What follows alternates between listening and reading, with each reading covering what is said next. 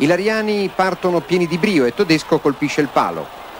La Cremonese reagisce e va a segno.